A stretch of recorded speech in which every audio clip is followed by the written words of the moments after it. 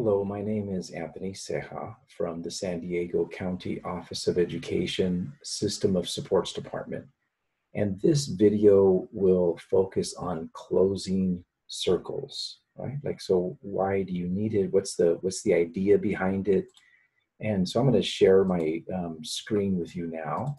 And then you can see, you, you can always contact me at that email address if there's any questions about this, any comments, anything like that, feel free, and I will try to my best to get back to you and um, provide you any kind of feedback on that. Um, and then, you know, when we think of closing circles, it's um, at least in my experience and in many other facilitators' experiences, um, we always leave a certain amount of time at the end of our significant circle experience to have a closing. So we usually have some form of opening and like a check-in and you know that kind of thing. And then we start off like with mindfulness or you know we do things like that. And then we might have some some different experiences some restorative experiences.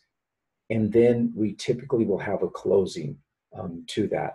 And the closing what it does is it just brings closure to the circle experience and um, one of the things as a facilitator you have to be aware of is the time, right? So if you have, let's say you have an hour um, with with students to, to to have this circle, or you might have an hour to do it with with staff.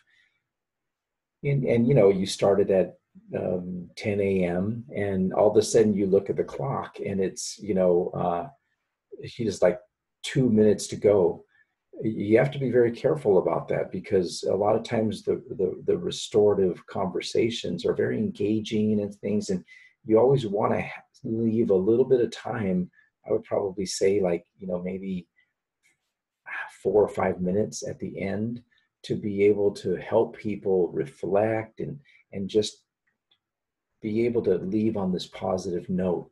Um, you obviously don't want people leaving on some kind of dramatic kind of uh, emotional note um, and then having to either leave your classroom or leave your if it's a virtual uh, experience you know just leave your time together is um, kind of broken down or something. You always want to try to leave it on a positive.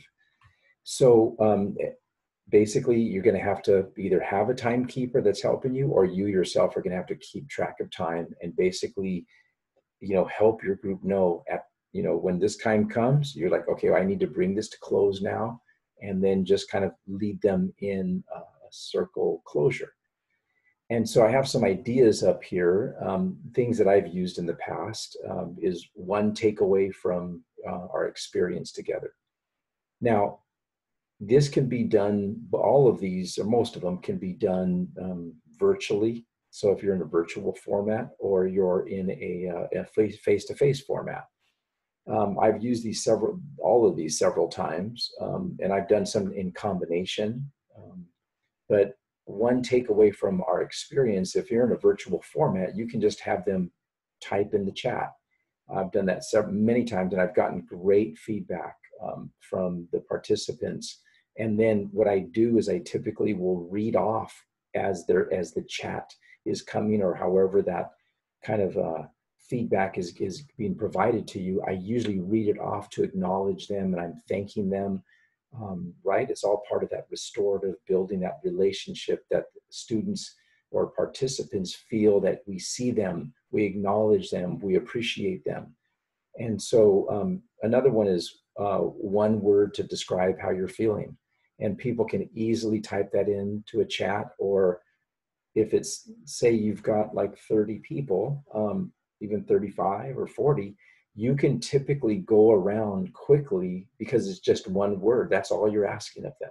A lot of times you'll hear people say, Oh, I feel energized, or I feel connected, or I feel, and you're just, thank you, boom, boom, boom. And you can get through that in just a few minutes, even with a larger group. Um, and you, as the facilitator, have to keep track of that. Like, how much time do I have? And what tool do I pull out of the toolbox that's appropriate for the time that I have um, because you can't ask for everybody to have this deep reflection time and sharing if you know you only have five minutes, um, especially if, if you have a larger group. So um, one thing that I really enjoy doing, um, and it's kind of like my go-to uh, closing, is say an appreciation to the group or to an individual. Um, a lot of times I'll, I'll even I won't even say to an individual. I'll just say say an appreciation to the group. Sometimes they will say it to an individual, but I like them to connect with their community, right? So a lot of times I'll hear people say, "I really appreciate all the authentic sharing. Thank you for listening to me." You know, these kinds of things come out, and it, it's ending on this positive note. Um, and then sometimes we'll do kind of one, you know, mindful breathing moment uh, just to reflect on our experience. Um, and if you have time, you can go then to the chat to say, give me just one sentence that, you know, um, describes your experience or something like that. And a lot of times you get these very positive things like, wow, that was, I, I don't feel so alone anymore. It was so good um, to hear and then to be heard.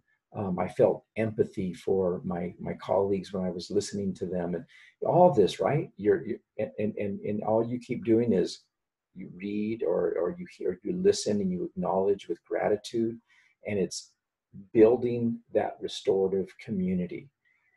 So um, we will also have a plug and play. I'll choose one of these and then have a plug and play um, available to you but if you scroll down from this um, YouTube video, you'll see there's a evaluation link, which if this was helpful to you, it's always good for us to get that um, feedback. Um, so thank you uh, very much. I'm gonna stop this now.